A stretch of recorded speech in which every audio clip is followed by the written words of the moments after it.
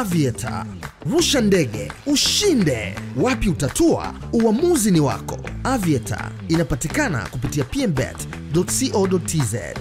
Yes, mtazamaji wa PMTV, muda huu Meja Kunta akiwa na wasili hapa Basata. Kama ambavyo nafahamu, uh, Meja Kunta ameachia ngoma yake mpya ambayo uh, kwa haraka haraka, kwa kile ambacho kinasemekana kuwa, mpenzi mtazamaji wa PMTV, huyu ambaye amefika hapa ni msanii wa muziki wa singeli Meja Kunta amekuja kuitikia wito wa Basata. Kama ambavyo nafahamu, msanii huyu ameachia wimbo wake mpya wa singeli remix ambao ameshirikiana na msanii wa hip hop uh, Chidi Benz na amefika hapa Basata kwa ajili ya uh, kusikia kile ambacho wamemuita. Hivyo tutapata mawili matatu kwenye story kuhusiana na uh, wito huu.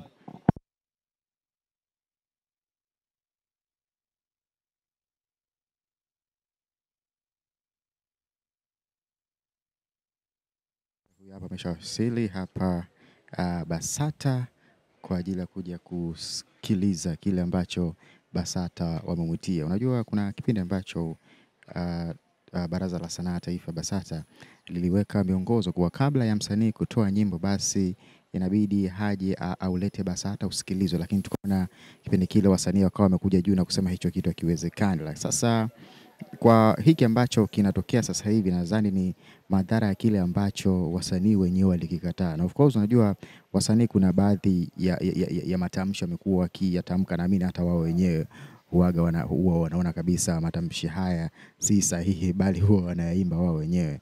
Na kwa kama upata nafasi ya kusikiliza wimbo mpya wa, wa, wa, wa Meja Kunta Hasani remix, nadhani kuna matamshi kiukweli, ukisikiliza lazima wewe mwenyewe usisimke, au sio? Hii ni PMTV, mtu ambaye anafanya uh, unatazama kila kitu ambacho kinaendelea hapa, si mwingine ni D Baisa. Kitu ambacho nakukumbusha tu ni kusubscribe hapo chini, lakini ili uweze kufahamu kile ambacho uh, Meja Kuta atakizungumza mara tu baada atakapotoka kwenye ofisi za Basata. Mimi naitwa Dick Tozi.